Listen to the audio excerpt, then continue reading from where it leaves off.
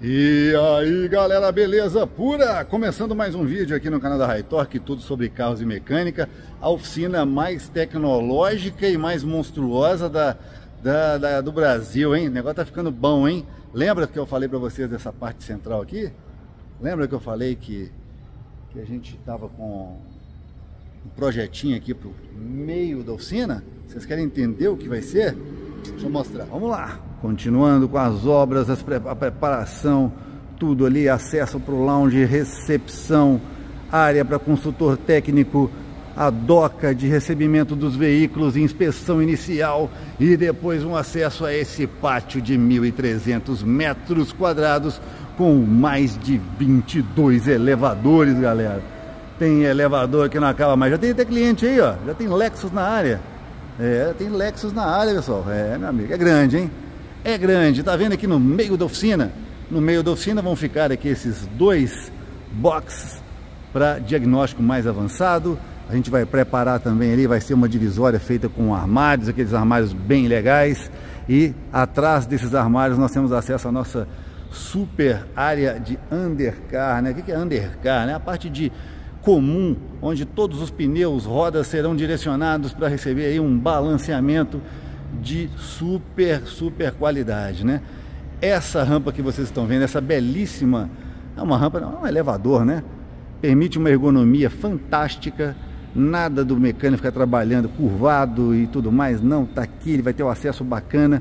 Se ele precisar de ver mais alguma coisa, acessar, rodar, girar as rodas, lembre-se que eu tenho mais um elevador aqui dentro, ó.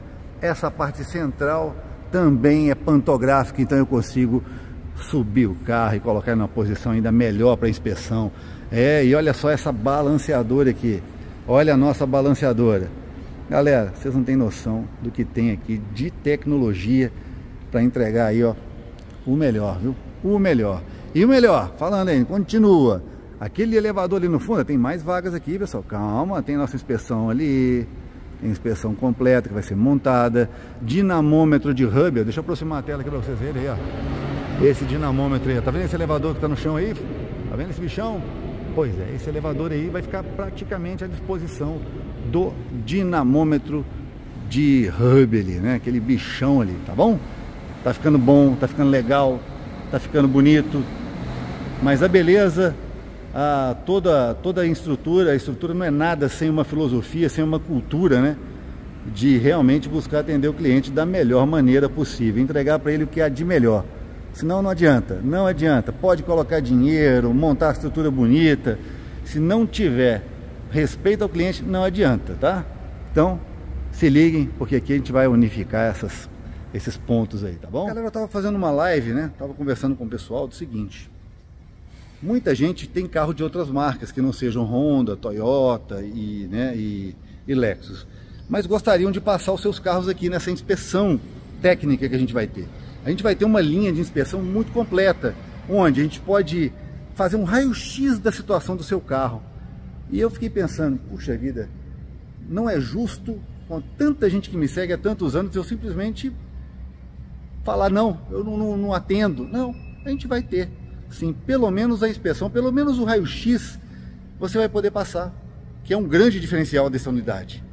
Então você vai passar, pode fazer o raio-x, a gente passa para você um relatório de como está o seu carro e você pode, né, a gente pode direcionar você para uma de nossas unidades, né? Se você for aqui de São Paulo, tem várias unidades de São Paulo, interior de São Paulo, que você pode levar o seu carro, ou também com o relatório em mão, você pode levar numa outra oficina de confiança que você já tenha mais tempo, sem problema algum, mas que a gente vai passar aquele pente fino top para você. Sabe, aquele realmente aquela inspeção bacana, nada de achismos inspeção visual, mas também com ali a chancela de um equipamento de precisão para poder fazer uma análise, né? A gente vai ter aqui muita coisa bacana. Tem coisa que não dá para mostrar ainda, tem coisa que ainda não dá, tá? Mas olha, tá ficando legal, tá ficando legal e eu quero muito poder que você que é entusiasta, gosta de cuidar do seu carro, não é um Honda Toyota, mas quer passar na linha de inspeção, a gente vai criar esse produto para vocês, tá bom? Você passa com o carro, relatório completo, completo, bem detalhado, fotografado, impresso todos os testes para que você possa então levar o seu carro para poder fazer de repente aí uma manutenção.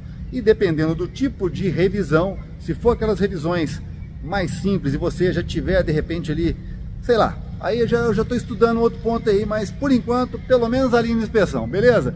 Ficou bonito, não ficou? Ficou? É, eu nunca imaginei que eu ia ter essas coisas assim, desse jeito, sabe? É uma coisa muito, muito legal, galera. É uma experiência fantástica que eu estou tendo, uma emoção muito grande, porque eu vou poder realmente mostrar não só a nossa qualidade de, de serviços, a nossa preocupação com o cliente, mas também ter um espaço onde eu possa integrar tudo isso e colocar tudo isso à disposição do cliente, né, para que ele possa realmente experimentar aí, ó, o melhor da manutenção automotiva, tá? Ah, hã? Ah, o espaço VIP. É, sabe o que é uma sala VIP de aeroporto? Sabe aqueles lounge de aeroporto onde você entra, come à vontade, senta, é, internet, café, água, biscoito, bolo, pão de queijo, salgadinho, tudo. Até um shopping vai ter se você não for motorista da rodada. É, a gente vai ter um loungezinho para você aqui. Não, não, não tem maquininha para você poder pôr cartãozinho, nada disso não. Nada de, nada de maquininha, nada de vender, chefe. Você já é meu cliente. Seja bem-vindo, chefe. Vem para cá, enquanto a gente cuida do seu carro, faz a revisão, você vai ali em cima, degusta um cafezinho bacana, né? O nosso lounge vai ficar para um segundo momento, né? Eu já quero inaugurar logo a parte de atendimento aos carros, mas o lounge logo logo entra em operação, talvez no máximo até o início do ano que vem. A gente vai estar fazendo melhor. Se é para fazer meia boca, é melhor nem fazer. Eu prefiro caprichar no momento na estrutura lá de cima, que é o restaurante da equipe, da galera, restaurante de todos que vão trabalhar aqui com a gente. Eu preciso primeiro preocupar com a saúde, com a qualidade dos colaboradores, da equipe. E aí, estando tudo bem, eles, eles estando bem, tudo bacana, aí a gente foca lá na outra parte, beleza? É isso aí, até mais.